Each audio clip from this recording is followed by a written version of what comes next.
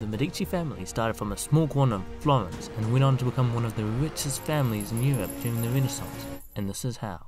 The story begins with Giovanni de' Medici, born in the year 1360. Giovanni's family was relatively well off until Giovanni's father died three years later in 1363, where he left Giovanni and his five brothers with a small inheritance.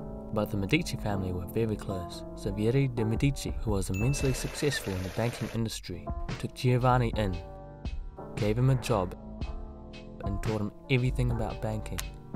Giovanni eventually rose through the ranks, becoming a junior partner in the Roman branch of the bank. However, Vieri wanted to retire and therefore he sold off his bank, one of the buyers being Giovanni de' Medici.